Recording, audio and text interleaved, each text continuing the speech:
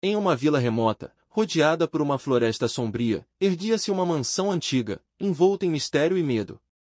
Sussurrava-se que a mansão era assombrada por uma presença maligna que se alimentava do terror dos corajosos o suficiente para se aventurarem por lá.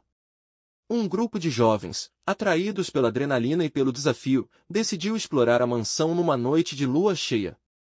À medida que adentravam os corredores empoeirados, uma sensação de opressão se instalava no ar, como se o próprio ambiente estivesse vivo e os observando. Lanternas tremeluzentes iluminavam salas vazias e corredores escuros, enquanto os passos dos jovens ecoavam pelas paredes decrépitas. De repente, uma música distorcida e melancólica começou a preencher o ar, parecendo vir de lugar nenhum. Curiosos e assustados, os jovens seguiram a música até uma sala escondida nos recessos da mansão. No centro, uma caixa de música antiga repousava sobre uma mesa empoeirada. Ao abri-la, a melodia se tornou ainda mais distorcida, ecoando como um lamento angustiante. Enquanto tentavam entender o que estava acontecendo, uma presença sombria começou a se materializar nas sombras da sala.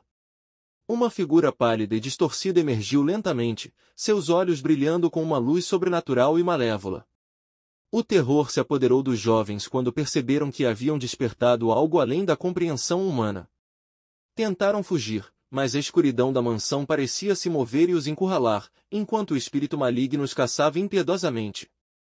Seus gritos ecoaram pelas paredes da mansão enquanto eram consumidos pela escuridão, um por um. Na manhã seguinte, a mansão permanecia silenciosa e desolada, guardando para sempre os segredos macabros daquela noite terrível.